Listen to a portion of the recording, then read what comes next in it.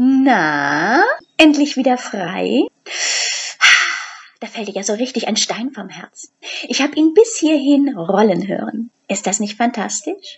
Wie viel Urlaub hast du schon gebucht? Und vor allen Dingen, wo geht's hin? Karibik, Amerika, Australien, irgendeine schöne Reise. So ganz ohne Maske.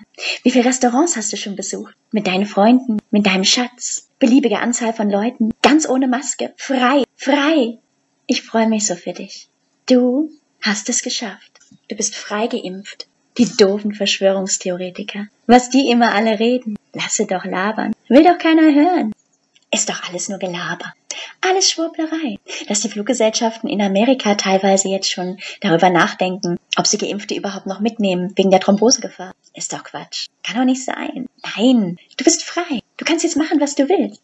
Konzerte, Restaurantbesuche. Es ist fantastisch. Ist dir aufgefallen, dass du eigentlich immer noch genauso unfrei bist wie vorher? Du hast keine Rechte. Du hast keine Rechte über dein Leben. Das Planen wird dir genauso schwer gemacht wie vorher. Du musst dich weiter testen lassen. Der Verschwörungstheoretiker sitzt im Restaurant weiter neben dir. Beide mit Maske, du und er. Beide rechtlos. Beide unfrei. Der Unterschied zwischen dir und dem Verschwörungstheoretiker ist nur, dass der Verschwörungstheoretiker weiß, warum du unfrei bist. Denk mal drüber nach. Und es gibt noch einen Unterschied zwischen dir und dem Verschwörungstheoretiker.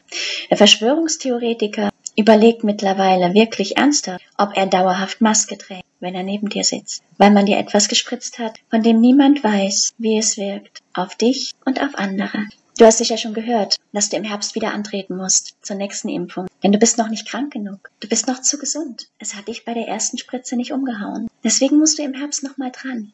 Das wird jetzt so weitergehen. Eine Dauerschleife. Wer hat es gesagt, so ganz herzlich in den Nachrichten? Markus Söder betont es ja immer wieder. Es war nur der Anfang. Du musst jetzt regelmäßig geupdatet werden. Aber es ist egal. Für die Freiheit tut man ja so vieles. Weißt du, der Unterschied zwischen dir und mir, zwischen dir als freie Menschen und mir als Verschwörungstheoretiker ist, dass du noch nie wirklich frei warst und gar nicht weißt, worum es hier geht. Du hast noch nie wirklich dich frei gefühlt, denn sonst würdest du diesen ganzen Quatsch nicht mitmachen. Ich nehme dich feste in den Arm. Du hast es so bitter nötig und du tust mir so leid. Hab einen schönen Tag.